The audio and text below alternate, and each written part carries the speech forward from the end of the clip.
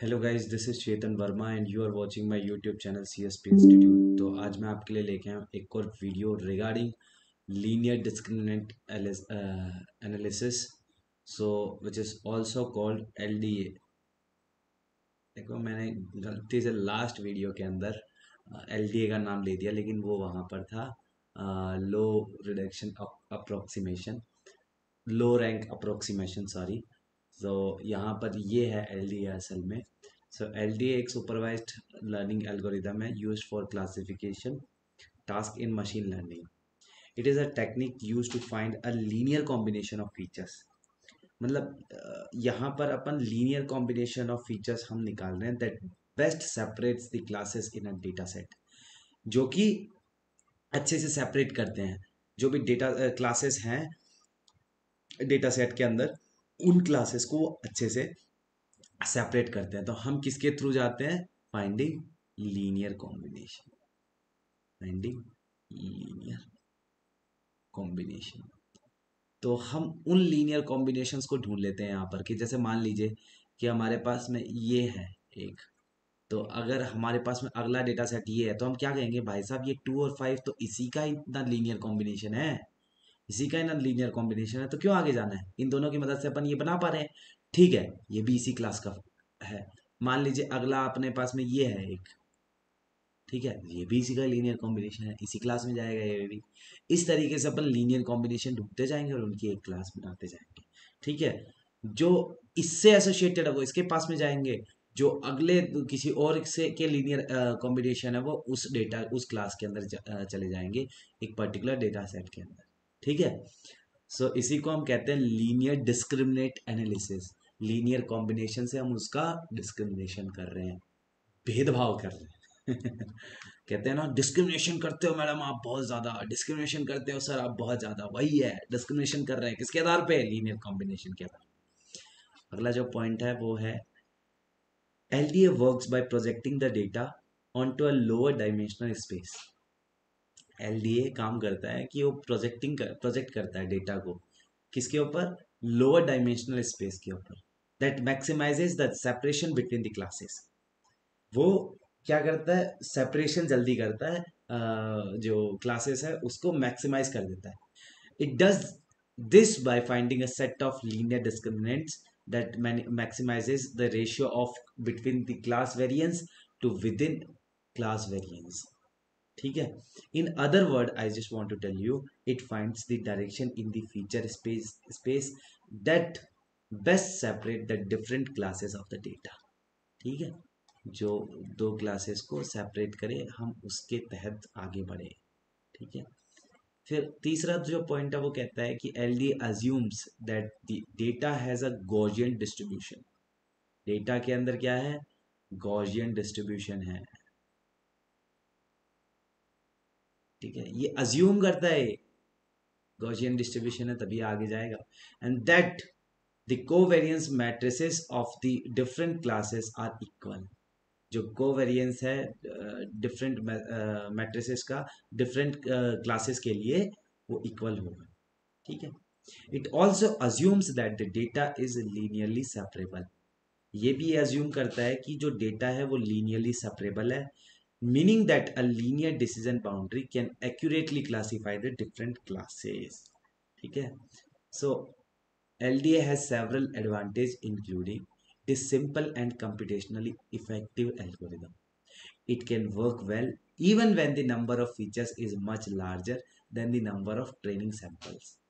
It can handle multi-collinearity correlation between features in the data so it can handle with that also like two columns are correlated each other so it can work with that also okay so however LDO LDA has some limitations also so कौन कौन सी limitations है कि it assumes that the data is Gaussian distribution लेकिन यही इसकी limitation भी है which may not always be in a case दूसरा जो पार्ट है it assumes that the covariance matrices of different classes are equal which may not be true in some data set हर एक डेटा सेट में थोड़ी ना होगा it assumes that the data is linearly separable linearly हम data को separate कर सकते हैं which may, may not again with the case for some data sets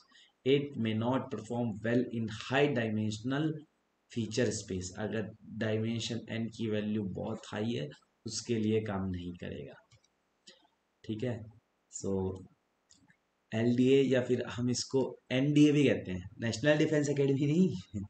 normal discriminate analysis या फिर लीनियर डिस्क्रिमिनेट एनालिसिस लीनियर या फिर एनडीए या फिर DFA discriminate discriminant function analysis. Is a dimensional reduction technique that is commonly used for supervised classification problem. It is used to uh, used for modeling uh, differences in groups that is separating two or more classes. It is used to project the features in high dimensional space into a lower dimensional space. Example we have two classes and we need to separate them effic efficiently classes have multiple features. Using one only a single feature to classify them may result in some overlapping. Let me show you some overlapping here. This image you can see here. This is overlapping you can see. So it can be done if we have one feature only okay?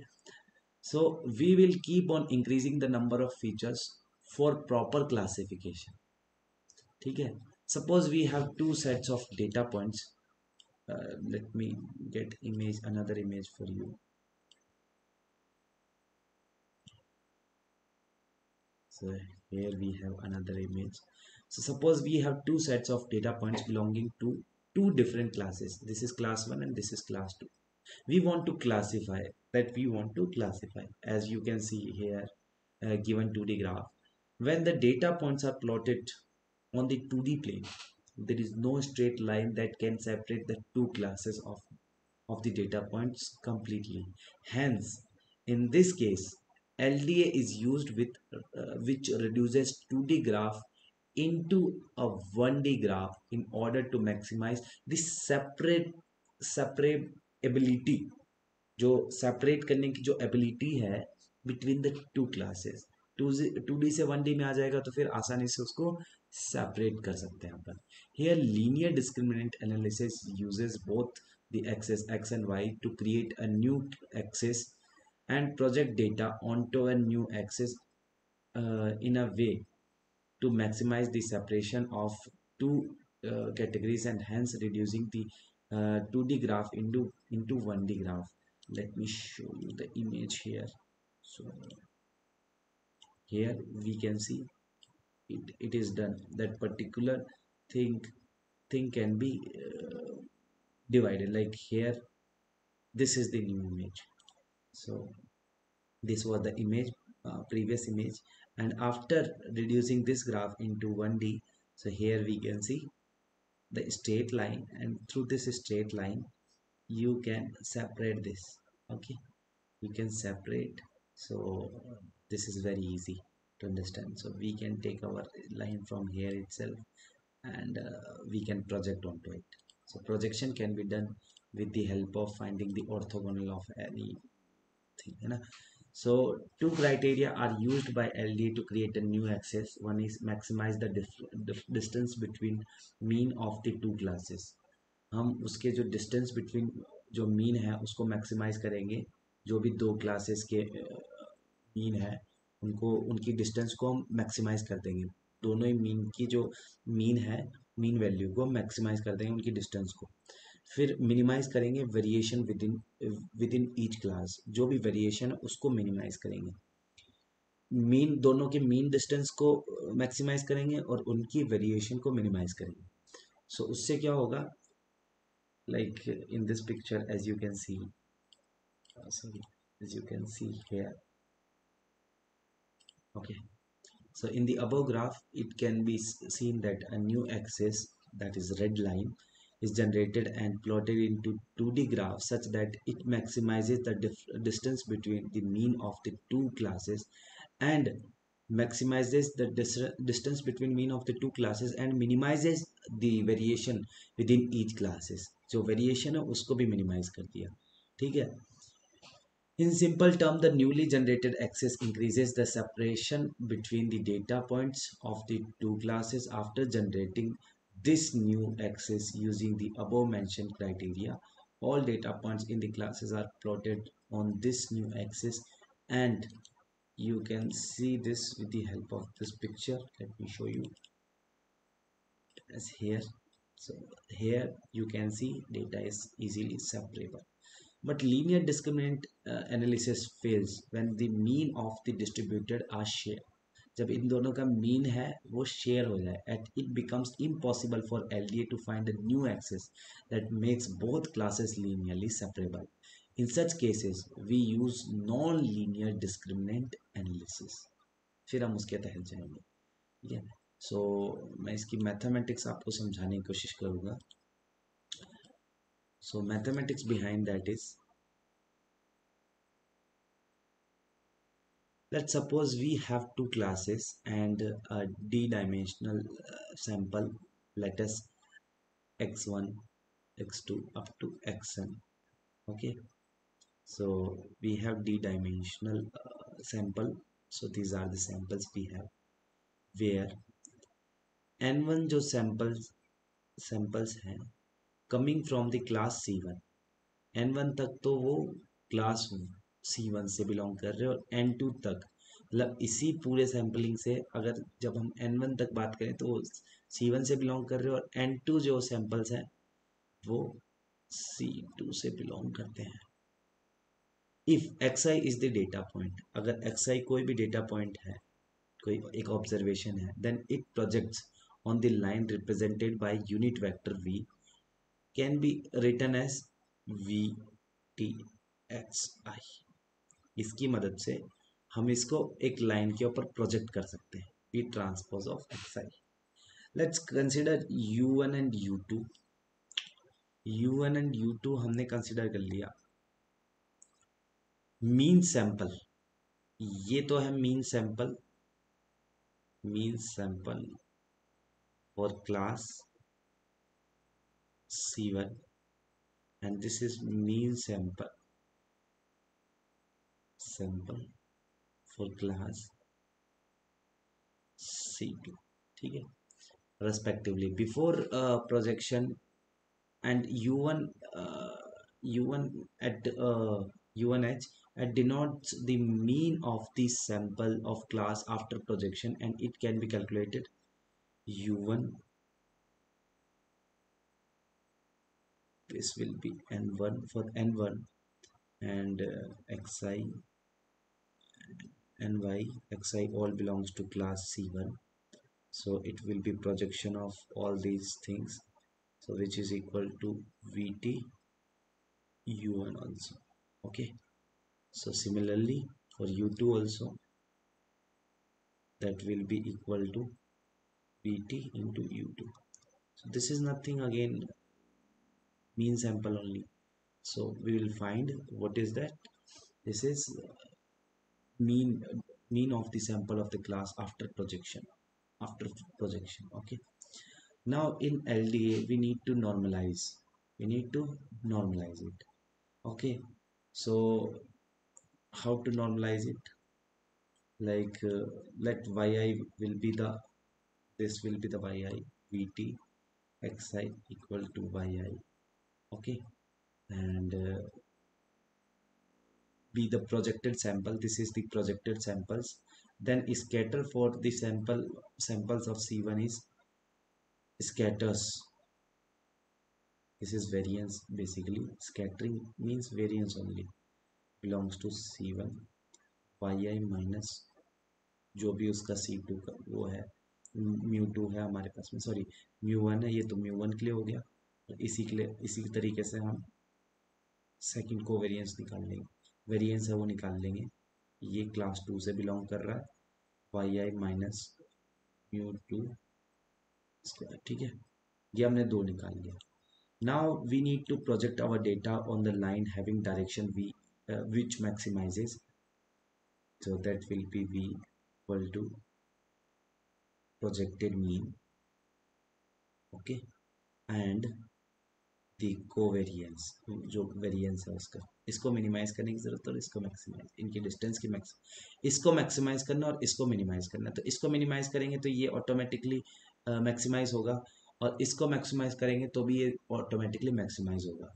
तो वो मैंने आपको पहले बताया था। For maximising the above equation we need to find a projection vector that maximizes the difference of the mean of the reduce uh, reduce the scatter of both classes now scatter matrix of s1 and s2 of class c1 and c2 will be scatter matrix हो जाएगी इसका scattering यहाँ से आ जाएगा for class one जितना भी so xi minus u1 xi minus u1 transpose ठीक है इसी तरीके से s2 के लिए xi that is belongs to class 2 xi minus x2 x2 xi minus mu2 transpose. Okay. After simplifying this above equation we will get sw will be. Uh, now we define scatter within the classes sw and scatter between the classes sb so sw will be scatter within the classes that will be s1 plus s2 or between the classes scatter between the classes mu1 minus mu2 difference between them and again multiplied with their transpose okay so now we try to simplify the numerator part of j this equation s1 square वाला part so इसको जब हम वो करेंगे तो सबसे पहले इसका तो अपन ये ले लेते हैं। क्योंकि डिफरेंस निकाल रहे हैं तो यार वो तो माइनस में नहीं आनी चाहिए। और S one square plus S two square equal to it will be transformed between the classes scatter between the classes so that we know V T to S B this is between the classes and this is within the classes this will be within the classes okay to B to okay so now to maximize the above equation we need to calculate difference between uh, differentiate with respect to v so let differentiate it differentiate it with respect to v okay so j है इसके respect में हमने इसको differentiate कर दिया so it will be S B V minus like नीचे वाले का स्क्वायर हो जाएगा और ऊपर वाले का उस तरीके से करेंगे। लेकिन मैं इसको आप डायरेक्टली लिख दे रहा हूँ।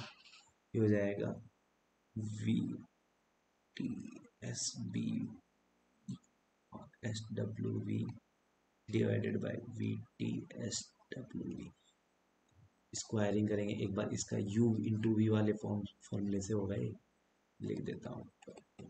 स्क्वायर एक बार u का डिफ्रेंशिएट भी ऐसे कैसे फिर बी का डिफ्रेंशिएट यू ऐसे। कैसे फिर इसको अपना मतलब एक एक के नीचे ले गए तो फिर उस हिसाब से, ठीक है? Finally it will be zero let find out equal to zero so उस पर्टिकुलर सिचुएशन में ये क्या हो जाएगा? जो स्कैटर बिटवीन द क्लासेस है विद रेस्पेक्ट टू वेक्टर ये दोनों within the classes equal हो जाएँगे। तो यहाँ पर हम ये ले लेते हैं, इसको इधर ले आते हैं। सो ये between the within the classes वाला इधर आ जाएगा स्कैटर और ये between the classes V equal to ये, ठीक है? अब हम इसको लिख देते हैं। इन दोनों से मिलकर विद इन और बिटवीन से मिलकर हमारे पास में एक बना एम मैट्रिक्स क्योंकि ये इनवर्स और ये दोनों मैट्रिक्स से एम बन गया हमारा, मान लीजिए, और इक्वल टू ये। सो वेयर जो वो हो गया आपका, लेमडा हो गया, वो हो गया V T S B V V T S between within the classes of and जो एम मैट्रिक्स हो गया आपका।